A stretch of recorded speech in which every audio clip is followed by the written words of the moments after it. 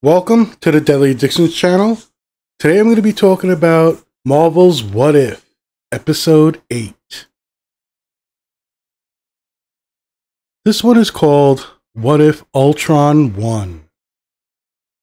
I like this episode a lot. Again, I'm really enjoying the continuity and the um, graphics and the animation the sound, the weight to things, the momentum.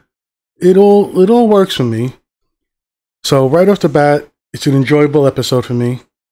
However, there are a couple of things that kind of annoy me, but I guess it's the nerd comic book role playing guy I am.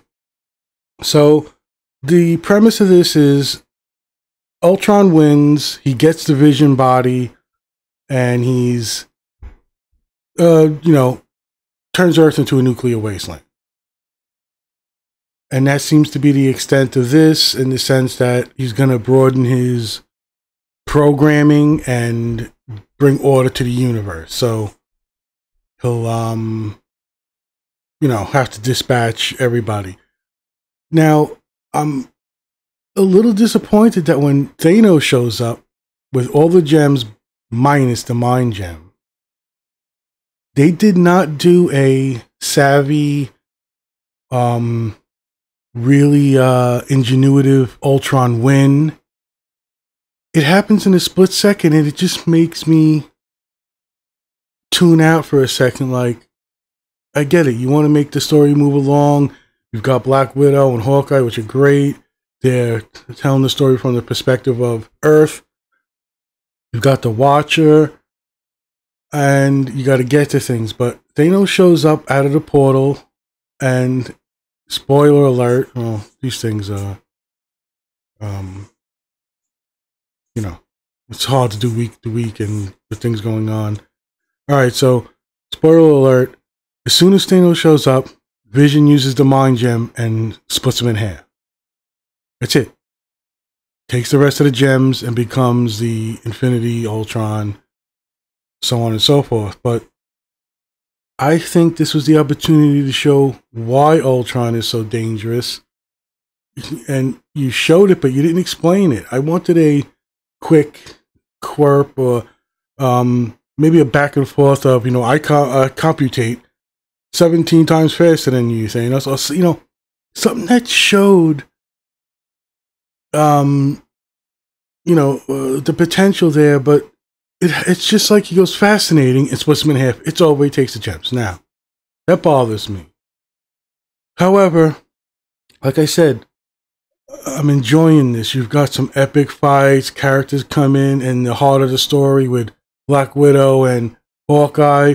But then, like I said, you're bringing in Miss Marvel. You've got the Watcher, and it, it's paced good. It's got um, some really great effects, and like I said, the animation works. And then there's another little thing that bothers me is the fact that Ultron's Infinity Gauntlet seems to work. Well, the gems seems to work in every universe because his goal is now tracking down the Watcher as all the gems give him the ability to sense him, and and is that side plot parallel storytelling where you know the Ultron is, or the Infinite Ultron is tracking down the Watcher in an epic fight, and it's awesome. There's myriad of realities that are changing or breaking through, and I, I, I it's something about the gems should work in only one universe, the universe they're from. So wouldn't this just be gathering other Infinity Gauntlets and other universes to stop him? And when they reveal what the plan is, sort of for this Earth or the Earth that it's we're talking about here, they're going for a low tech solution. Um, so Arnim Zola, they're trying to upload. So there's a little bit of that. I don't know. It just doesn't weigh right in my head when I'm watching it. So those are the only two things. I am glad to know that my suspicions were true, or you know, me and my friends were talking that this was going to be an overarching, interconnected story. So, in a normal what if tradition, these stories happen and they're just little twists on a, a path that went a different way. They're making it that, but a connected multiverse story. So at the end of this, you see Doctor Strange from one of the other episodes who destroyed his own universe. So I see where they're going with that. And again, unless you're going to tell me that I'm missing something, now you could maybe say there's no direct uh, wording or phrasing that he's using the gems in other realities. So Ultron's a danger enough. I get it. And he's done some insane things. And then Ultron in Vision's body. Okay, let's up the game. So I get it. He's um on another level in that sense. Then he gets the gems, the Infinity Stones. And I'm not sure why they're taking out the possibility of other gem holders. Wouldn't he wouldn't that be also maybe part of his quest? Knowing that these things made him so powerful that he could breach realities and he sees the multiverse. What about the other gems in the other multiverse, the other universes? Or because this is the, I don't know, maybe they'll call it a prime universe. It has one gauntlet and all the uh, offshoots, all the splinters of uh, different paths don't have them. I, I, you know, so, you know, I'm not sure. And it's again my nerd part of me that knows so much about the comic. So, for instance, uh, when Adam Warlock gets the gauntlet in the comic books, and it's explained later at the Council of Entities, that he makes a decision and the decision is made with utter omnipotence. I mean, really, what you're saying though is as soon as um, Ultron goes into another universe, if there was ever a gauntlet holder, that gauntlet holder knows. And time wouldn't even matter. But that's just me being a nerd and the way I run adventures. And I have my own uh, Infinity Gauntlet story going on in my own Marvel universe that we're running right now. I'm using the Roll, Die, Roll 20 system uh, online. It's been great for the pandemic. Just an awesome way to get people together and kind of free. Well, a friend gifted me a Pro. Thank you. But Roll 20, check it out. Tabletop role playing. It's got the 5e thing built in. It might not be the best one out there for all the bells and whistles, but it's a free way to get your friends together who are not only around the country, around the world. Um, you know, a time where it's hard to get people together in the same room and for hours. And anyway, getting back to the episode. What if Ultron won? Really like it. So much fun. Uh, epic storyline that's, you know, cosmic in nature. Again, we're talking about cosmic in nature. Well, I'm, talking, I'm bringing it up. And I'm not seeing a lot of the entities that I would thought I would see, and not even the cosmic level beings. So, even for instance, at um, what was the last one? Uh, Party Thor you see the Guardians and stuff, and you see the uh, Elders of the Universe, or you know, Game Master and uh, the Collector and such. Uh, I don't see that kind of thing, but again, the heart of the story is um, Black Widow and Hawkeye on this post-apocalyptic Earth that Ultron's destroyed, and he is um, systematically destroying things. He gets um, control of, I guess, the. I don't know. It's. I think the hint is this galaxy or the solar system type thing. Um, he's got the gauntlet, and then his perception is opened up. He knows about the multiverse, and he sets on a path to bring order to it. So, on a lot of fronts, I'm, I'm really happy about this. I just those two things. I, I didn't want to see Thanos, you know, taken out in a split second without some sort of um, indication that Vision is the Vision Ultron, Infinite Vision Ultron is um, capable of it in a sensible way. Uh, you know, you depicted Thanos in the movies and stuff, epic, and even well, the other episode that he's in on this is, I think, the uh, what if T'Challa became uh, Star Lord, and even that I was a little let down in. The portrayal of the movies to the cartoon animation is just, but Thanos is falling short. Um, I mean, I guess you have to, you know, the way they made it, and it's just something that immediately, and this is happening in the you know beginning of the show. I just was like, ugh, this is just a wasted potential. You missed opportunity to show why and explain how dangerous this Infinite Ultron vision is. And then again, I was a little okay. I'm going with it. Look, I love this stuff.